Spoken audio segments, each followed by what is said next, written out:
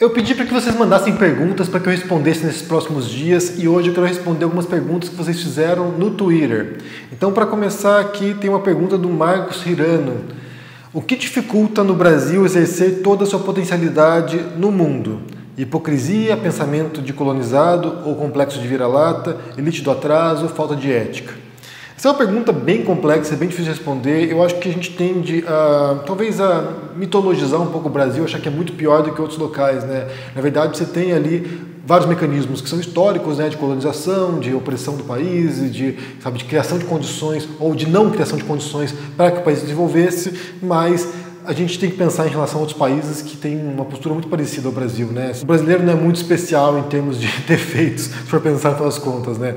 Mas de fato você tem ali um país que tem toda uma estrutura social, né? uma estrutura política que é criada em torno de certas elites. Eu acho que o termo elite do atraso aqui é uma boa ideia por trás disso, que tende a reforçar desigualdades sociais históricas e isso atrasa bastante o progresso do país. Né? Não acho que o Brasil seja muito especial nesse sentido, repito, mas há muitos elementos aqui históricos, de fato, de consolidação nesse tipo de atraso que a gente percebe na América Latina como um todo, em outras regiões, né, na África ou em regiões da Ásia também. É preciso romper esse ciclo histórico. Max perguntou aqui como fazer novos amigos sendo adulto.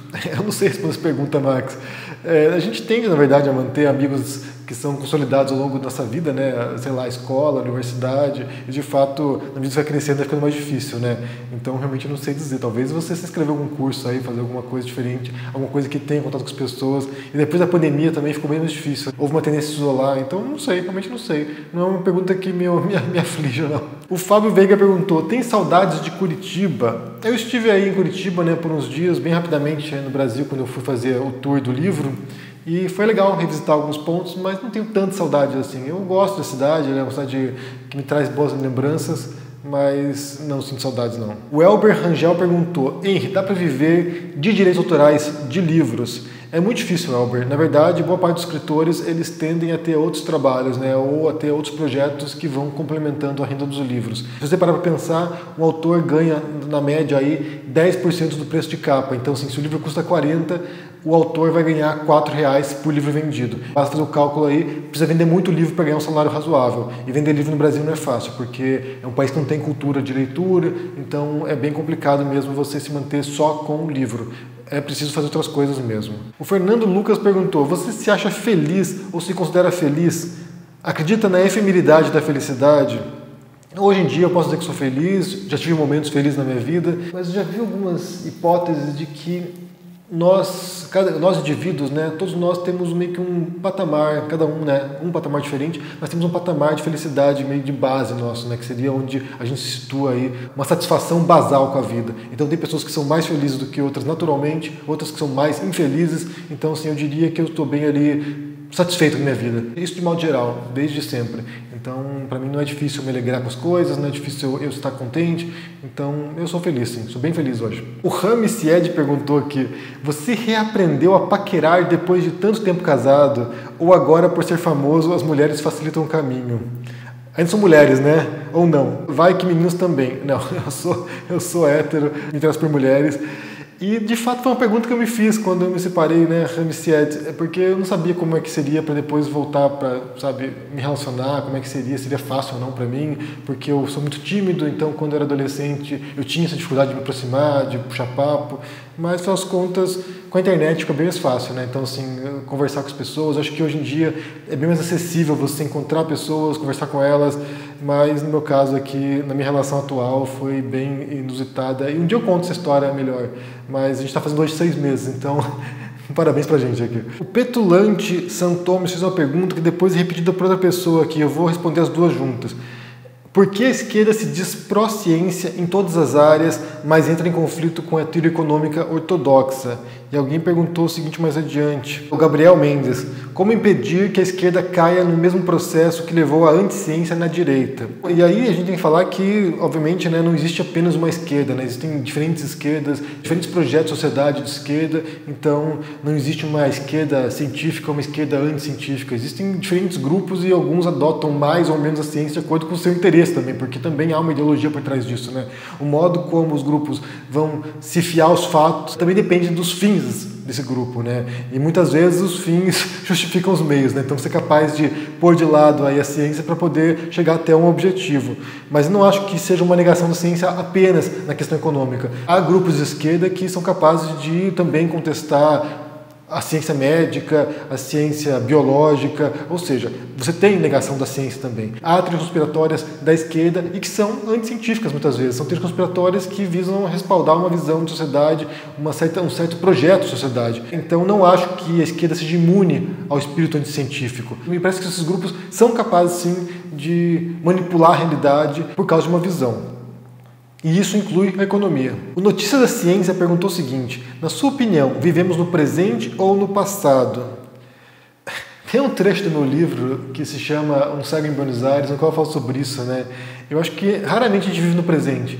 A gente tende a viver ou no passado, sabe, buscando experiências pretéritas, um modo para poder compreender o momento, ou a gente vive no futuro, nos preocupando com coisas que podem acontecer ou não, projetando metas. Então a gente sempre a gente sempre está oscilando entre o passado e o futuro, eu acho. Quando a gente é mais novo, a gente tende a viver mais do futuro, quando a gente é mais velho, tende a viver no passado, resgatando coisas do passado, mas a gente raramente aproveita o momento presente. O Eita perguntou: o que você acha sobre a anistia aos responsáveis pela ditadura e sobre uma possível anistia ao Bolsonaro? É, na verdade, a questão da anistia é muito complicada porque assim é um modo de apagar a história, é um modo de tentar pôr panos quentes sobre o que aconteceu, né, sobre aquele momento complicado no Brasil, e não apenas no Brasil, a gente viu anistia em outros países também. Aqui na Espanha, quando houve o fim da ditadura do Franco, também foram anistiados os militares aqui, né, fizeram um pacto de silêncio aqui na Espanha. Então isso não é tão incomum assim. Na Alemanha nazista, embora tenha havido uma desnazificação, mas também muita gente ali foi anistiada para que pudesse manter a sociedade funcionando. Basta pensar que por exemplo, toda uma cúpula, né, uma cúpula burocrática, muitas vezes, que estava vinculada aos regimes militares e que, se você elimina essa classe de juízes, por exemplo, ou de burocratas, você não tem como manter o país funcionando. Então, a anistia acaba sendo um modo de você pôr lá um ponto final, fecha esse capítulo, vamos seguir para o próximo. E também a anistia acaba sendo feita para guerrilheiros, né, para, entre aspas, terroristas, pessoas que se opunham ao regime e cometeram atos criminosos durante aquele período. Então a anistia ela visaria meio que apagar os crimes ou erros ou abusos de ambos os lados, tanto de quem era opressor e usou do regime para perseguir grupos, quanto aqueles que se opunham ao regime e cometeram atos de violência, de assassinatos, sequestros durante aquele momento. Então a anistia teria essa visão. Mas o fato de você realmente apagar a história, né, isso prejudica muito. Eu acho que não há um fechamento embora haja intenção de fechar o capítulo, não fecha o capítulo, ele continua aberto e deixa margem para que isso se repita. Então eu vejo que esse espírito golpista hoje no Brasil é consequência, sim, da falta de punição de militares que cometeram tortura, que cometeram crimes bárbaros durante a ditadura. Então não fechar essa história permitiu, deu a brecha para que isso retornasse em algum momento.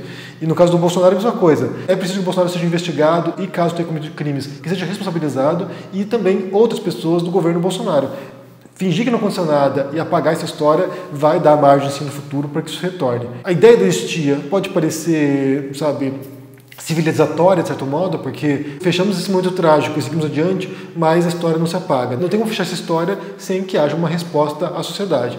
Então eu acho muito ruim nesse sentido. Tem muitas outras perguntas para serem respondidas, tanto aqui quanto no Instagram também, mas eu volto em outra oportunidade para terminar essas perguntas. Agradeço a todos vocês que mandaram as suas dúvidas. Espero que curtam esse vídeo, deixem aqui embaixo no comentário uma boa tarde, se inscrevam no canal, ativem o sininho, isso é muito importante também, e confiram o Clube do Livro Filosófico, que todos os meses a gente se encontra, duas vezes por mês, duas lives, para debater obras de filósofos ou de escritores que usaram filosofia em suas obras. Próximo mês vamos falar sobre Schopenhauer, isso em janeiro. Então participe, espero vocês por lá, link na descrição. Um abração para vocês e até mais. Tchau!